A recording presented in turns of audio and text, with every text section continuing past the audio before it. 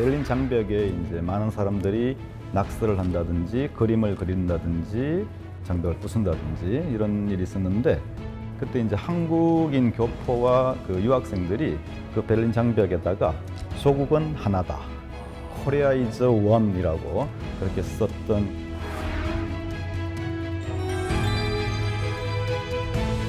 총리 무릎 꿇다라는 유명한 사진이죠. 플라는 사람들은 굉장히 불쾌하게 생각했어요. 그리고 서독 언론에서도 서독의 총리가 해서는 안 되는 일을 했다라는 거기 이제 가장 중요한 보고가 isn't a das Volk 이네들이 말하는 그 인민이 바로 우리다.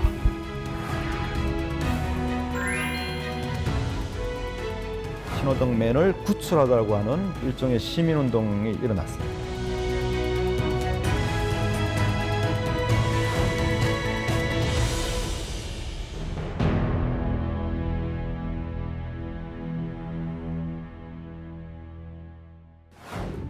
안녕하십니까 정세진입니다. 원래 하나였던 것은 다시 하나가 되어야 한다. 분단 시절 서독의 총리였던 빌리 브란트가 했던 말입니다. 빌리 브란트의 바람처럼 다시 하나가 된 독일. 우리에게는 부럽기도 하고 그 과정 하나하나가 궁금했던 정말 역사적인 사건이었는데요. 어, 세계의 장면, 세계의 민주주의. 오늘은 독일 통일 과정 그리고 통일 이후의 이야기까지 짚어보는 시간 마련해 보겠습니다. 함께 해주실 분들 소개해드리죠. 류성환 선생님 소개해드립니다. 안녕하십니까? 안녕하세요. 네, 고등학교 학생들에게 세계사 수업하고 있는 유성환입니다. 오늘도 잘 부탁드리겠습니다. 안녕하세요. 한국경제신문 성수영입니다. 반갑습니다. 네, 안녕하십니까. 독일인이지만 현재로선 논산의 아들로 알려진 플로리안입니다. 반갑습니다. 논산의 아들 네. 네. 플로리안 클랍씨 함께하고요. 오늘 독일 통일 과정 자세히 전해주실 분 소개해드리죠. 어, 강원대학교 이동기 교수님 모셨습니다. 어서 오십시오.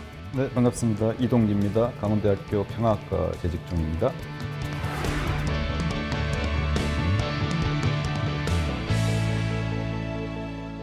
평화학과 교수님과 함께 독일 통일 과정 살펴볼 텐데요. 1990년이었죠? 네. 베를린 장벽이 무너진 게 89년이었고 네.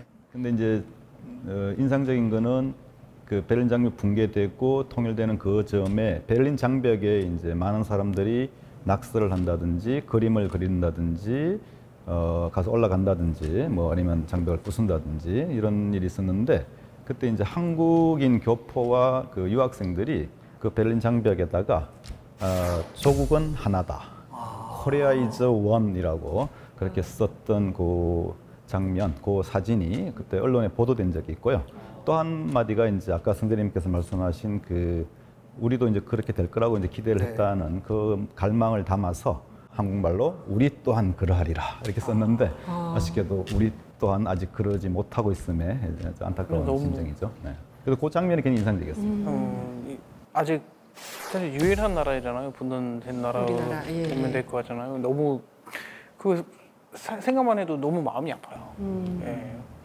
원래 하나의 문제구였는데 아직도 동일이 안 되고 찝찝하죠. 독일은 됐고 아, 저는 정말 기억나는 게 어릴 때 부모님이나 어른들이 항상 너가 군대 갈 때쯤 되면은 통일이 통일이. 돼서 군대 안 가도 될 거다라고 했는데 당연히 갔다 왔고 제 아들도 갔다 와야 될 것 같아서 굉장히 마음이 안 좋습니다. 저희가 이런 희망을 가지면 안 되는 건 아니죠. 가져야 되는 거죠, 당연히. 뒤에 나오겠지만 이제 독일이 특히 서독이 또는 동독도 마찬가지인데 통일을 적극적으로 추구하지 않았거든요. 오히려 평화적 그 협력 관계를 안정적으로 정착시켰고 그 역설적 결과로 그것의 어떤 어, 중, 장기적 어, 결과 의도치 않은 장기적 결과로 이제 통일이 온 거거든요.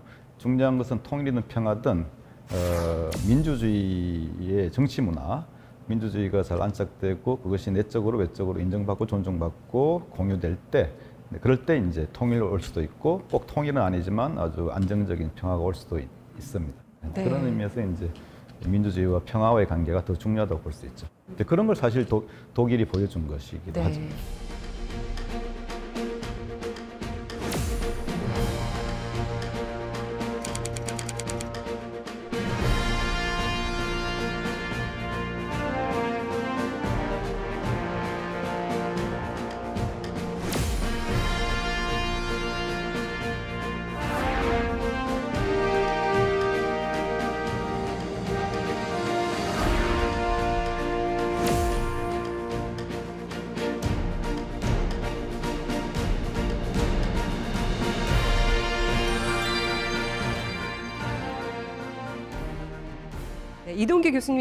독일 통일 과정의 세 가지 결정적인 장면, 그 중에서 첫 번째 장면 함께 보시겠습니다.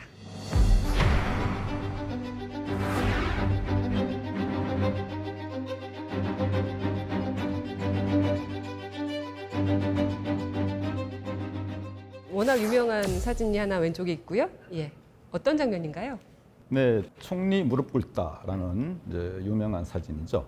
어, 1970년 어, 12월 어, 7일 비 오는 어, 바르샤바의 어, 중심가에서 유대인 개토 저항 봉기에서 희생당한 어, 사람들의 앞에서 이제 브란트가 무릎을 꿇은 어, 사진입니다. 어, 워낙 유명한 사진인데 조금 이제 뒷 얘기가 있고요. 그다음 뒷그 옆에는 이제 어, 헬무트 콜이 어, 동독 지역 1990년 어, 12월 초 어, 선거를 앞두고 어, 동독 지역에 선거 유세를 갔는데 동독 주민들의 아주 큰 환영을 받았던 그런 사진입니다. 그래서 총리 무릎 꿇다라는 사진과 어, 총리 환영받다 그런 대비적인 사진인데 이 두 사람이 이제 어, 힘을 합쳐서 내지는 이 두 사람의 공동적인 어, 평화 정치를 통해서 어, 통일이 이루어졌다고 볼 수 있기 때문에 이 두 개의 사진을 가져왔습니다.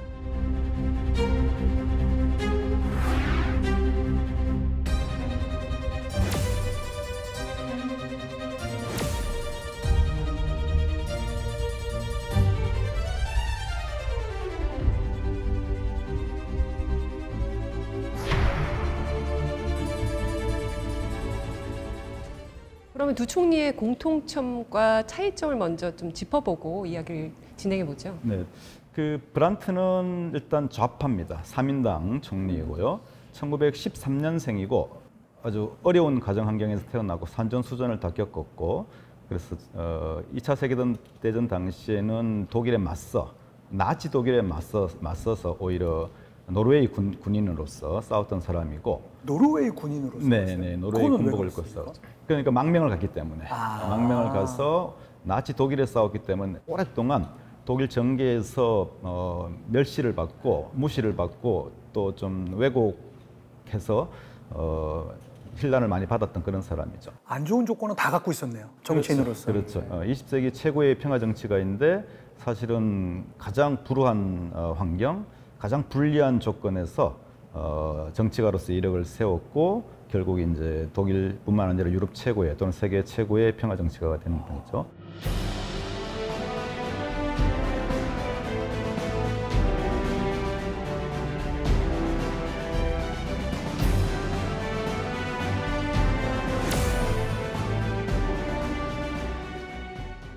오른쪽에 있는 이제 그 콜? 헬무트 콜은 어, 1930년생이고 보수적인 집안에 태어나서 대학 때부터 당시 보수 정당인 김인년의 당원으로 활약했고 43살에 어, 김인년의 당수가 됩니다. 73년도에 당수가 될 정도로 아주 정치력을 보였던 그런 사람이죠. 연결고리가 뭘까요? 네, 출신도 다르고 어, 성향도 다르고 정당 다, 정당도 다르고 하지만 이제 실용적이라는 것, 조금 전에 말씀드린 것처럼 이념이나 이데올로기를 떠나서 굉장히 실제적이고 실용적이고 현실적이고 구체적인 정책을 세우고 동독과의 화해 협력이라는 측면에서는 어, 두 정치가가 이제 공통의 그런 지- 정책을 추진했고요. 정리를 하면 이제 빌리 브란트가 추진했던 평화 정책을 어, 헬무트 콜이 그것을 이어나간 거죠. 어, 그래서 나중에 1990년 10월 3일 베를린에 있는 어, 국회의사당 정면에서 통일을 선포할 때 어, 헬무트 콜과 빌리 브란트가 이렇게 나란히 서서 어, 대중들과 함께 그 통일을 기뻐하는 그런 장면이 아주 인상적인 것이죠. 멋지다.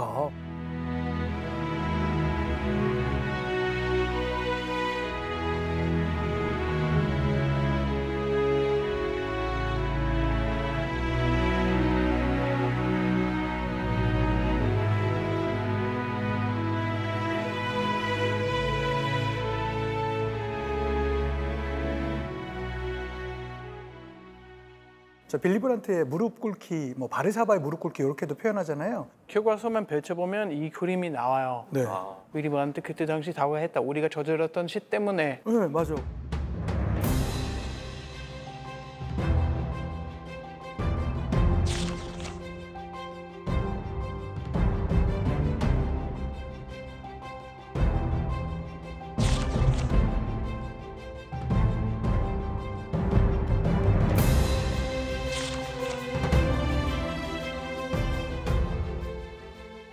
여기서 이 무릎을 빌리 브란트가 꿇기 한 시간 전에 빌리 브란트와 서독의 그 국빈들은 어, 폴란드가 정한 폴란드가 원했던 그 폴란드에서 그 폴란드인이 나치에 대항해서 봉기를 일으킨 음. 어, 장소가 있거든요.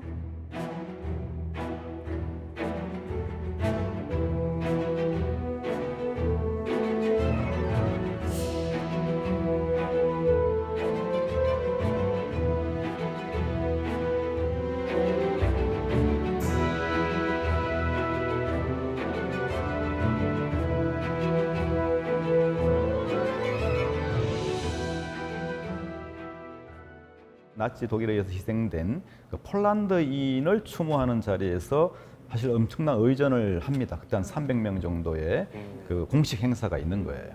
유대인 쪽이 아니라 폴란드. 그렇죠. 폴란드인 그곳에서는 빌리 브란트가 무릎을 꿇지 않았어요. 왜요? 어. 그런데 더군다나 이게 유대인 피살자나 사상자나 살해된 사람들이 아니라 저항 투사들이 있는 장소에서 무릎을 꿇었거든요. 아. 그래서 이게 폴란드 입장에서는 굉장히 불편했어요. 아, 저 행위 자체를. 행위 자체가 잘못된 행위라고 그럴 수도 본 있을 거죠. 것 같네요. 네. 그리고 서독 언론에서도 어, 아까 말씀드렸듯이 빌리 브란트는 굉장히 조국의 배신자 그리고 좌파로서 어, 사회주의자 흔히 말하는 빨갱이 이런 그 딱지가 붙어 있는데 어, 빨간 나라에 가서 빨간 사람이 빨간 행위를 했다는 거예요. 서독 주민들에게 여론 조사를 했는데 한 65% 정도가 서독의 총리가 해서는 안 되는 일을 했다라는 부정적인 평가가 지배적이었습니다. 아, 아, 근데 중요한 거는 이제 국제 여론이었어요. 음. 국제적으로 이, 이 행위를 통해서 이제 서독의 총리, 다시 말해서 나치 전력이 아니라 오히려 그 반대의 전력이 있는 나치에 저항해서 싸웠던 투사의 전력이 있는 브란트가 독일을 대표해서 어쨌든 어, 무릎을 꿇었기 때문에 진정성을 보인 거죠. 그래서 그것이 이제 국제 여론 차원에서 크게 이제 호응이 되고 조금 시차를 두고 어. 폴란드에서도 높이 평가를 받게 되고 서독 총리가 과거사 정리를 의미 있게 수행했다라는 것을 상징적으로 보여주는 행위라고 지금은 그렇게 높이 평가를 해도 됩니다.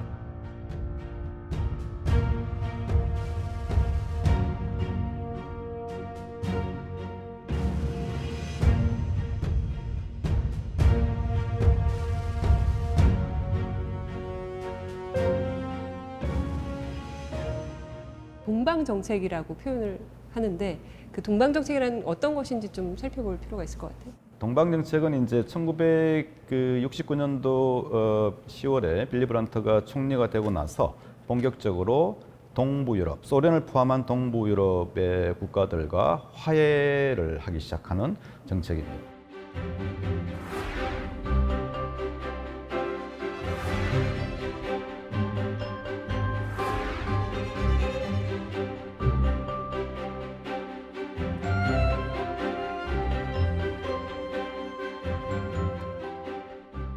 첫 번째는 이제 국경을 존중하겠다는 거죠. 2차 세계대전 이후에 만들어진 국경을 그대로 존중하겠다는 거죠. 침범하지 않겠다. 그렇죠. 그다음 두 번째는 체제를 인정하고 존중했다는 거죠. 거예요.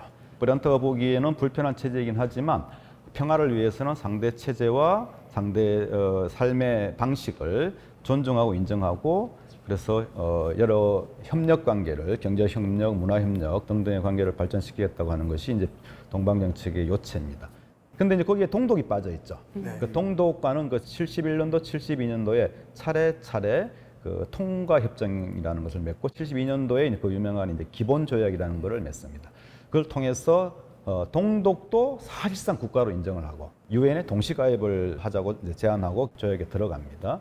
그리고 이제 여타 경제, 문화, 협력 등등에 대해서 모든 어, 기본 조건을 다 만, 만들고 서독 주민들이 어, 동독 지역을 거쳐서 서베를린으로 들어가는 그런 이제 통과 협정을 통해서 한 해에 뭐 적게는 200만 명에서 많게는 500만 명 정도의 서독 사람들이 그 지역을 통해서 서베를린으로 들어간다든지 동독 주민들도 나중에 80년대 되면 한 100만 명 정도가 동독 지역에서 서독 지역으로 어, 방문을 할수 있도록 기반을 만들었던 거죠. 그런 의미에서 이제 동방 어, 동방 정책은 어, 크게 독일이 저지른 과거에 대해서 반성하고 사과하는 과거사 정리를 포함하고 있고 현재 갈등과 적대 관계에 있는 냉전과 분단 체제를 극복하겠다고 하는 현재의 어떤 안전, 안전과 안전에 대한 내용을 포함되어 있고 미래의 동유럽 국가들과 함께 공동의 미래를 공동의 유럽 연합을 건설하겠다고 하는 미래에 대한 어, 어, 공동의 이익이나 전망을 공유하는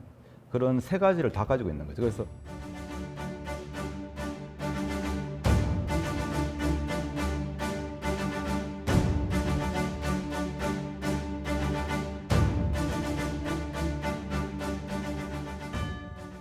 분단 시절의 그 독일 지도를 한번 보죠. 우리나라의 분단과는 좀 다릅니다. 우리나라는 그냥 이렇게 반을 이렇게 나누는 남북 간에 이렇게 나누는 형태였었잖아요. 그런데 저기서는 서독과 동독으로 나누어진 것뿐만 아니라 동독 안에 있는 도시인 베를린도 동서로 나눴어요. 아 근데 그러면은 서베를린 같은 경우에는 동독 영토 안에서 섬처럼 완전히 떨어져 있는 거네요. 그러니까 이제 동수독 분단은 한국과 뭐 여러 가지 차이가 있는데 국경이 이제 약 1,400km 정도로 이렇게 처- 있는데 동수독 국경 사이에 철책을 치기 시작한 것이 1952년이거든요. 음. 그럼 그 전까지는 사실 뭐 산이나 덜이나 그렇죠. 어, 또는 이제 경우에 따라서는 이제 다른 통로를 통해서도 충분히 동독 주민들이 서독으로, 서독 주민들이 동독으로 왕래가 가능했다고 볼 수가 있죠. 그리고 동서 베를린도 이제 1961년 전까지는 동베를린에 살면서 서베를린에 가서 일을 한다든지 어, 장을 본다든지 머리를 깎고 온다든지 다 어, 가능했더니 그런데 이제 동독 주민들이 어, 1949년부터 1961년까지 대략 한 250만 명 정도가 서독으로 망명으로 서독으로 넘어가 버리는 거죠. 이주해 버리는 거죠. 그렇죠. 도주- 자유주의 체제에 그렇죠. 대한 자유를 찾아서 도주해 버리는데 그래서 이제 61년도에 어, 61년도 8월 13일부터 베를린과 동베를린 사이에 어, 베를린 장벽이 들어서기 시작한 거죠. 그게 한 48km 정도인데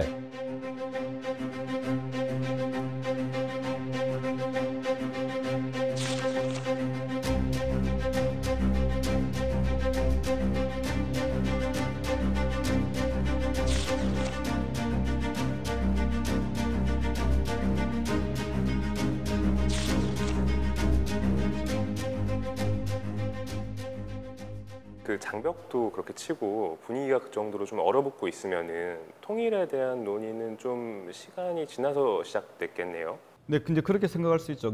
그리고 저도 그 처음에 독일 가서 저도 이런 주제를 공부할 때 독일 지도 선생님하고 서로 제대로 이해를 못했던 게 바로 이 대목인데 베를린 장벽이 쳐졌으면 당연히 이제 동수독 관계가 경색되지 않았, 않았냐고 제가 이렇게 질문을 했어요. 왜냐하면 제가 보- 읽어본 자료에 의하면 너무나 많은 평화 구상이나 통일 구상이 쏟아져 나오는 거예요. 장벽 이후에. 우리 선생님은 아니 장, 장벽이 쳐졌으니까 동수독 사이의 분위기가 경색되니까 오히려 그럼 해결책을 도모해야 되지 않냐고.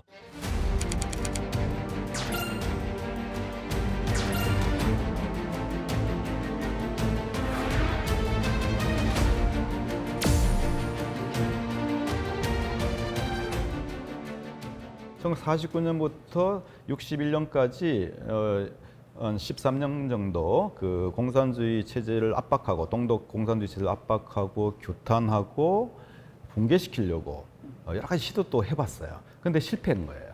실패한 거죠. 그리고 오히려 공산주의 체제를 붕괴시키려고 하는데 장벽을 세우고 경계를 세우면서 공산주의 정권이 오히려 자신이 자신을 움츠리니까 더 강화시키니까 그러면 이제 공산주의 체제를 그렇게 한 번에 붕괴시킬 수는 없다고 보고 어, 소위 그 유명한 접근을 통한 변화라고 하는 정책이 정책을 이제 구상을 하게 됩니다.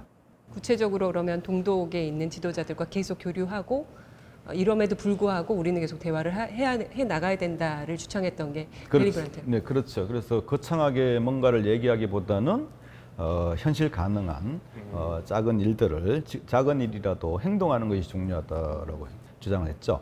그래서 어, 지금 당장 통일을 얘기하는 거는 이제 망상이라고 그랬습니다. 동독에 정치범들이 있어요. 그럼 정치범들에 대해서 비난하고 비판하는 거는 손쉬운 일이죠. 누구나 할 수 있는 일입니다. 여기서 막 떠들고 서독에서 거리 시위를 통해서 동독 정권을 규탄하는 거는 아무나 할 수가 있고 누구나 할 수가 있고 언제나 할 수 있는 거죠. 근데 그렇게 해서 공산주의 정권이 어 그래. 내가 잘못했어 정치범을 풀어줄게 이렇게 안 되는 거죠.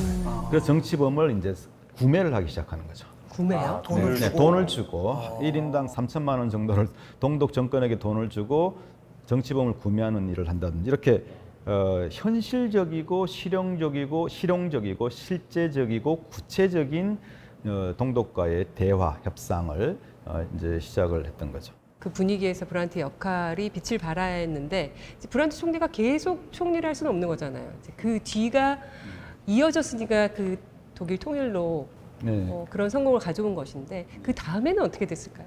네, 그래서 이제 오늘 이제 첫 번째 사진 장면이 바로 이 두 총리를 같이 보여준 것이죠. 그래서 1982년도에 10월에 이제 헬무트 콜이 이제 총리가 되거든요. 정권이 한번 바뀌면 특히 이제 이렇게 좀 견해나 어, 어, 정책의 근간이 다른 정당이 더- 이제 바- 들었으면 막 바꿔버리잖아요. 서독도 그 당시에 그랬어요. 그런데 이제 그다음 이 동독 정책만 평화 정책만 어, 그대로 헬무트 콜이 어, 연장해서 그냥 개성해서 어, 빌리 브란트와 사민당의 그 정책을 이어나갑니다. 실질적으로 동독과 어떤 것들을 실현해냈나요?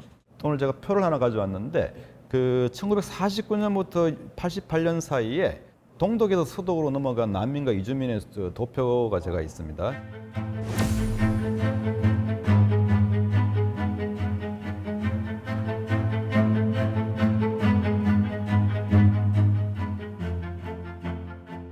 중에서 이제 82년도 상황을 보면 어, 난민이 이제 여전히 비합법적으로 불법적으로 뭐 불법이라는 게 좀 이상한 표현이긴 한데 동독에서 서독으로 몰래 넘어오는 사람이 이제 4,095명이죠. 근데 합법 이주민이 9,113명이에요. 그런데 이- 그리고 83년에도 거의 유사하죠. 84년에 되면 두 배가 증대하죠. 네. 그리고 전체 숫자를 보면 이제 11,343명에서 38,633명으로 한 세 배 이상 정도가 증대합니다. 어. 그 숫자 자체가 늘어났잖아요. 네.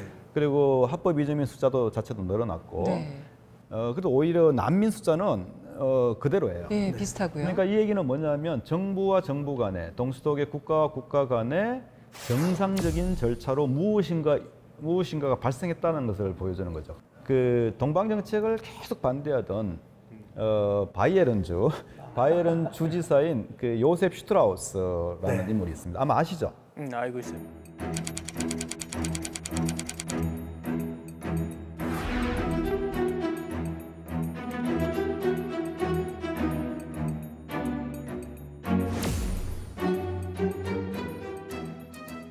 예, 요셉 슈트라우스는 바이에른 주에 오랫동안 주지사를 했고 아주 그 바이에른 주의 전설 같은 정치가입니다. 어, 이 바이 그 바이에른 주의 주지사가 어, 동방 정책을 가장 강력히 반대했던 아주 보수적인 인물이에요.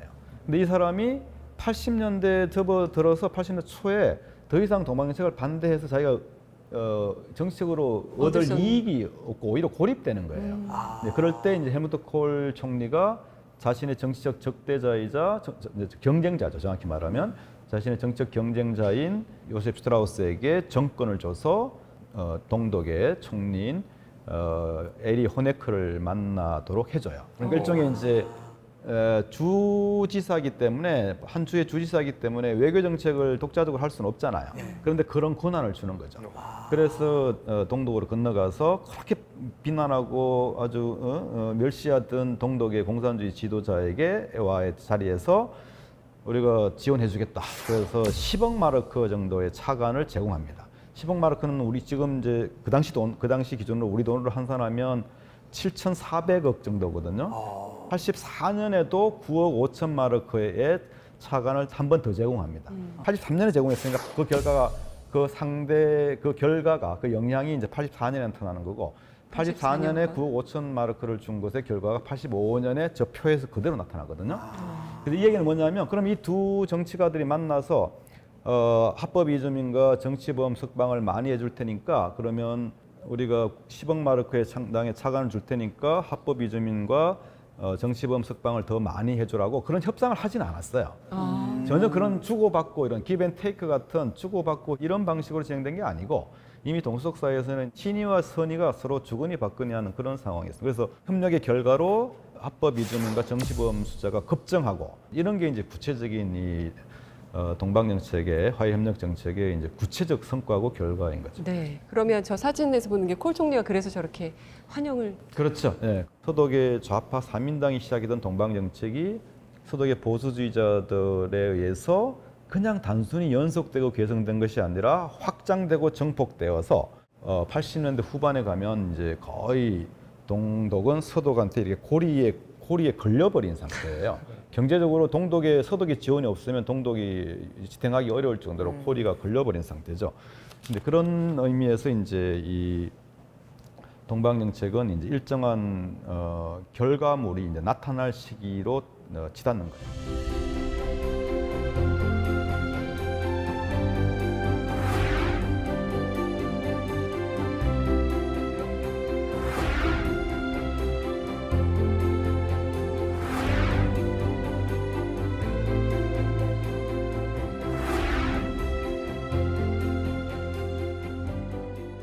오늘 세계 장면 세계 민주주의 독일 통일 과정의 면면들을 하나씩 지금 살펴보고 있는데요. 두 번째 장면 함께 보시죠.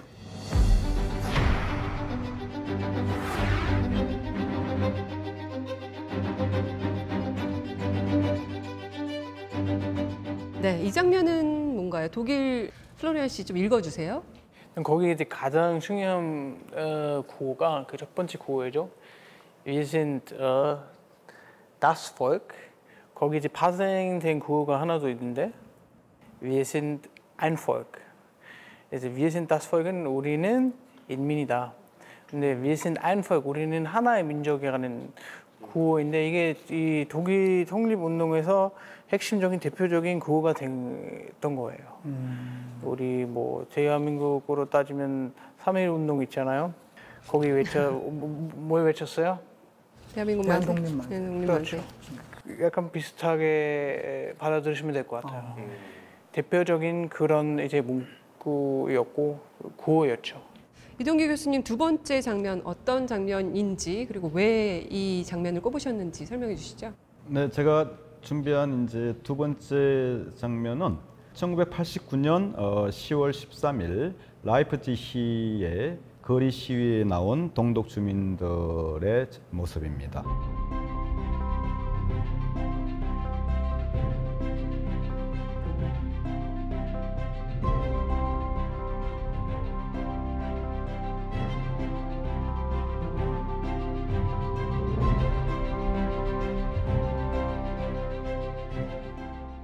교수님은 어떻게 번역하세요, 저거?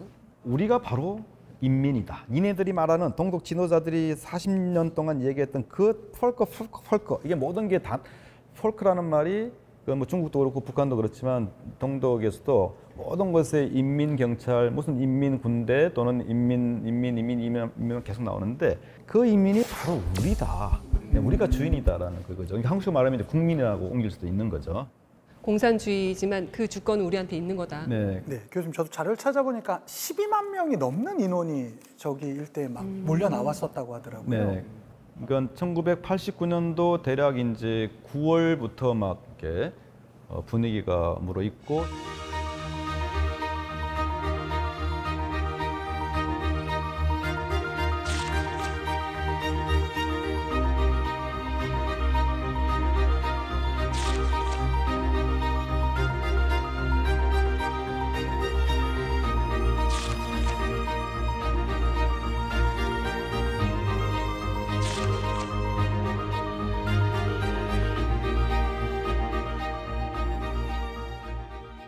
근데 이게 라이프치에서만 벌어지는 것이 아니고 10월 되면 동독 전역에서 민주혁명이 진행이 되는 거죠. 그래서 소위 동독이라는 국가가 민주주의를 배우고 있다라고 그렇게 이제 표현을 할 정도인데 그래서 민주주의를 학습하는 시간이 펼쳐진 거예요. 그래서 그게 이제 10월, 11월 상황으로 계속 치닫는 거죠.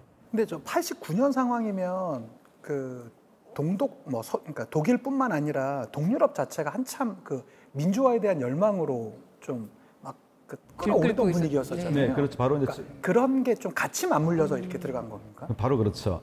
뭐 이제 연구자들이 이 동유럽 민주혁명을 전체적으로 연구하는 연구자들 사이에서는 유명한 알려진 말이 있는데 폴란드는 10년 걸렸고 헝가리는 10개월 걸렸고 동독은 10주 걸렸고 체코는 10일 걸렸다라고까지 부르는데 이게 헝가리가 체제 전환하는 게 굉장히 중요합니다. 왜냐하면 헝가리가 체제 전환을 하면서 헝가리와 오스트리아 사이에 그 국경을 헝가리가 열거든요. 어. 그러면서 이제 동독 주민들이 헝가리를 거쳐서 오스트리아를 거쳐서 우리 플로리안 씨가 사는 그 바이에른 주로 들어가서 맥주를 마시는 이런 장면들이 전 세계 상영 중계가 우회해서 들어가는 그렇죠. 거네요. 네.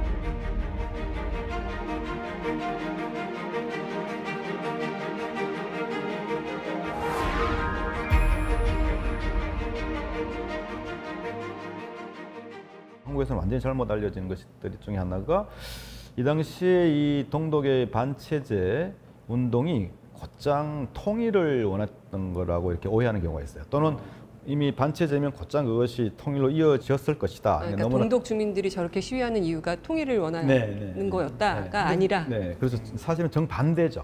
애초에 반체제 운동을 했던 사람들은 동독 사회를 더 좀 민주적이고 심지어 더 제대로 된 사회주의 체제를 만들고 싶고 아, 그리고 좀 더 멋진 나라를 만들고 싶어 하는 그런 어, 그래서 오히려 더 많은 어, 안전, 더 많은 평등, 더 많은 한국식으로 말하면 더 많은 공정, 더 많은 복지 이제 맞아요. 사회 개혁 내지는 갱신 운동이라고 볼 수 있죠.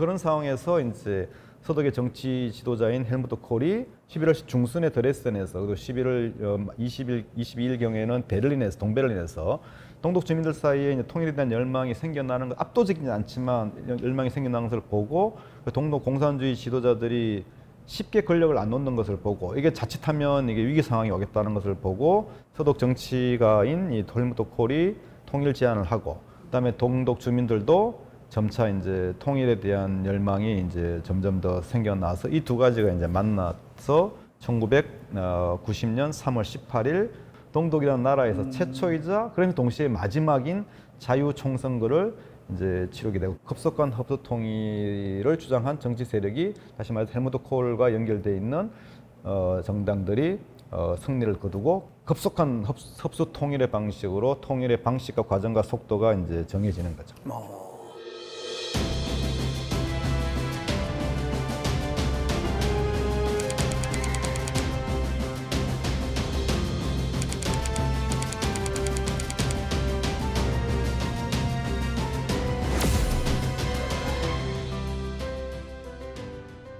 어쨌든 그 과정은 굉장히 평화적이긴 했어요. 평화적이었고 민주적이었어요. 그런 면에서는 이제 민주혁명이 어, 민족혁명으로 또는 다르게 하면 민주혁명이 평화로운 체제 전환으로 그 결과로 민주적이고 평화로운 통일로 기결되었다는 측면에서는 엄청난 역사적 성과고 보기 드문 성취라고 볼 수가 있는 거죠. 세계 장면, 세계 민주주의, 와, 독일 통일까지 이뤄냈습니다. 아유, 굉장히 제가 제가 다 뿌듯해지네요. 이- 멋지네요, 진짜. 네.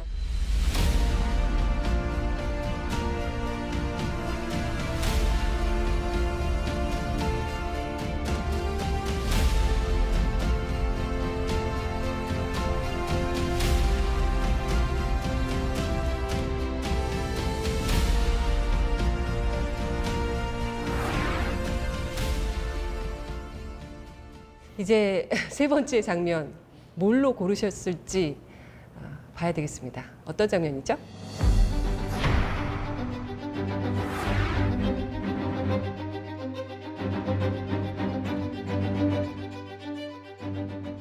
네, 세 번째 장면은 이 그림인데요. 일종의 랜드마크 같은 아, 거죠. 아마 네. 다 베를린 여행하신 분들은 다 봤을 건데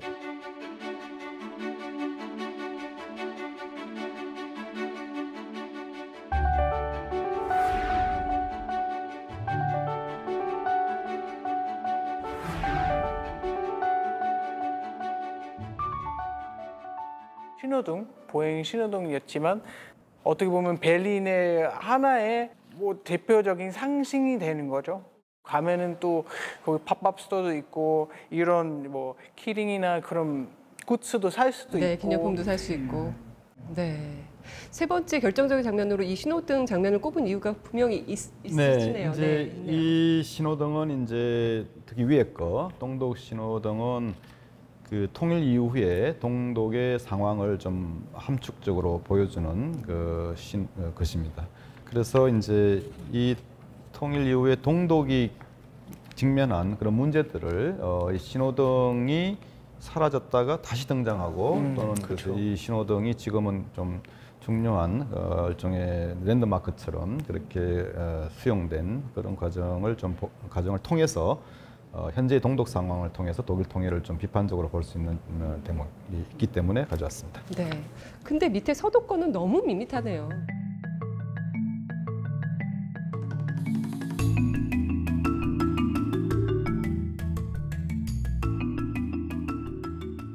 신호등 기본적으로 이제 교통 체계의 일환이기 때문에 어, 통합되는 것도 부분적으로 필요하죠. 너무 이렇게 다양하게 있으면 오히려 불필요한 그렇죠. 불필요한 관심을 불러일으켜서 구경만 하게 네, 되고. 네, 집중하지 못하게 예. 되고 이제 그런 의도에서 통일 이후에 그 서독 출신 어, 지도자들이 동독의 신호등도 바꾸려고 했, 어요 아. 그건 이해는 할 수는 있죠. 네. 이해는 할 수 있는데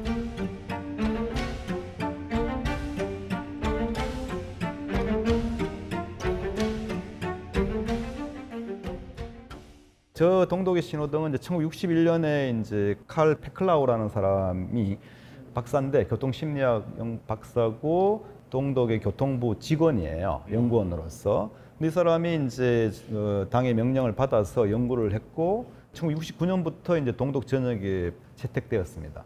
한 20년 정도 동독 주민들이 이 신호등하고 더불어 살았죠. 네. 그리고 이 신호등에 대해서 이미 통일 전에도 통일 전에도 서독의 어, 사회학자, 교통 교통 사회학자, 심리학자들이 연구를 해보니 이 신호등이 주의를 더 확- 환기시켜서 집중 집중력 집중도를 높이 높이고 또 굉장히 친근해서 네. 어, 교통 사고를 예방하는데 더욱 효과적이라는 거예요. 서독 신호등이나 여타 유럽의 신호등보다. 그래서 다시 말해서 동수독 사이에 동독 것이 더 나은 것, 동독에서의 더 나은 성과물이라고 이미 인정을 받았어요. 그런데 그런데 통일 했습니다. 이후에 체제를 전환시키고 어, 반발심이 굉장히 컸을 것 같아요. 그렇죠. 그에 대해서 이제 동독 주민들이 이거 해도 해도 너무한다. 아. 우리가 살아온 모든 걸 다 부정하는 거라는 음. 거 생각해요. 공산주의를 체제를 어, 전환식 해체하고 그거는 괜찮지만. 민주주의 체제로 전환하는 거는 이미 자신들이 원했던 거고. 근데 그 정도가 아니라 일상의 생활 세계의 경험 세계의 일상 문화의 모든 것까지를 다 서독식으로 바꿔버리니까 동독 주민들 사이에 반발이 굉장히 거셌습니다. 근데 그거 이해가 가요. 왜냐하면 그 사람들도 본인만의 문화 생활하는 패턴이 있을 거고 갑자기 우리가 와서 이거 더 이상 쓰면 안 돼. 우리 거 써야지. 그러면 불만이 생길 수밖에 없어요. 아니 서독에서 인정한 건데. 그래서 신호등맨을 구출하자고 하는 일종의 시민운동이 일어났습니다.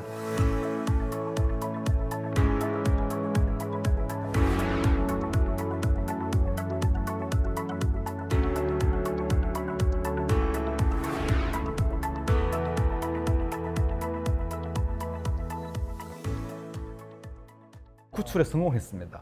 그래서 그 다음부터는 동독 지역에서는 그 신호등을 교체하는 작업이 전면 중단되고 아. 오히려 동독 신호등을 그대로 유지하는 것이 일반적입니다. 물론 베를린도 한 90%는 이제 동독 신호등으로 되어 있고 아까도 말씀드린 것처럼 그런 흐름 때문에 이제 서독에서도 이제 일부 도시에서 동독 신호등을 채택한 어, 그런 곳도 있는 거죠. 그 이 신호등뿐만 아니라 다른 것에 대해서도 저런 어떤 박탈감을 느끼지 않았을까? 어, 급속한 흡수 통일 중에서도 또 좀 과격한 방식으로 진행이 되어서 특히 이제 동독의 다수의 공장과 기업들이 다 문을 닫는 결과를 초래했죠. 그래서 동독 지역 전체가 다 경제가 나락으로 떨어지고 실업률이 막 정대하고 이런 어, 아주 심각한 상황으로 치달았죠. 그러면 통일 독일에서 지금 가장 큰 문제로 교수님이 보고 있는 점은 어떤 거예요? 독일 대기업 500개 중에서 동독 지역에 본사를 두고 있는 게 이제 22개밖에 없습니다. 그리고 독일의 현재 지금 어, 연방 어, 헌법재판소 그 재판관이 16명인데 그 중에 여성은 한 반 정도 돼요. 근데 정작 그 동독 출신은 한 명밖에 없거든요. 그리고 이제 뭐 텔레비전 방송에서 이렇게 토크 쇼를 할 때 동독 출신이 8% 정도밖에 어, 등장하지 않거든요. 이런 사례는 굉장히 많습니다. 그래서 독일 대학의 총장이 동독 출신은 뭐한 한 명도 없다든 없다든지 뭐 아주 아주 너무 흔한 일이고 독일을 이렇게 조금만 살펴보면 동독 출신들이 거의 이렇게 배제됐거나 좀 올라오지 못해, 못해서 엘리트층에는 거의 없는 일들을 흔히 볼 수가 있습니다. 네. 만약에 그런 사회적 차별이 시정되지 않고 계속 가게 되면 사실 어떤 문제가 꼭 생기게 되잖아요. 어, 동독 사람들이 사실 이 통일을 원해서 하긴 했지만 갑자기 뭐 흡수 통일되면서 약간 어, 자신들의 존재가 어떻게 보면 위태로워진 지경에 이르렀는데 그래도 뭐 사회적으로 어떻게 합의를 해가지고 좀 나아질 거라고 생각했을 텐데 이게 시정이 되지 않고 있는 상황이면 분명히 무언가로 분출이 되지 않을까 그런 우려되는 점이 있거든요. 네. 아, 동독 주민들이 상당 기간 경고를 보내고 상당 기간 여러 가지 방식으로 요청을 했지만 그것이 잘 반영되지 못했습니다. 그 결과로 2015년부터 동독 지역은 현격히 거구 정당이 그 독일을 위한 대안이라고 하는 거구 정당의 지지율이 높습니다.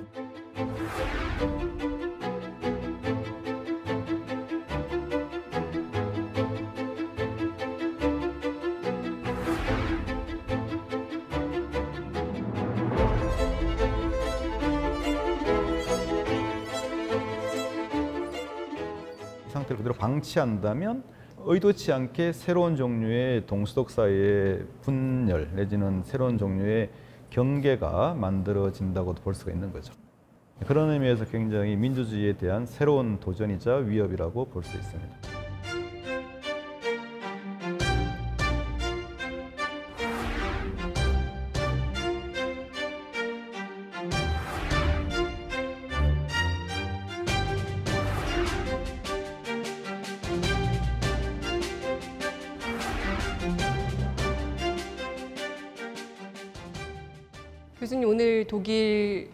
과정 이렇게 여러 가지 이야기들 해주시면서 어, 내가 이 세 가지 결정적인 장면을 꼽은 이유가 있으실 거예요. 분명히 내가 전달하고 싶은 메시지 마지막으로 좀 부탁드릴까요? 이제 민주주의는 기본적으로 어쨌든 구체적인 어, 어떤 사람들의 요구와 어, 일상과 어떤 어, 그들의 기억, 그들의 고유한 어, 어떤 경험 이런 것에서부터 출발을 좀 해야 되는 거죠. 그래서 빌리 브란트가 현실적이고 실용적이고 실제적이고 구체적이라고 그 말 정말 많이 썼거든요. 그 말에 대응했던 것은 바로 망상적이라든지 이데올로기라든지 어, 환상이라든지 공상이라든지 이런 것에 대비해서 현실적, 실용적, 어, 실제적, 뭐 구체적 그런 말을 많이 썼습니다.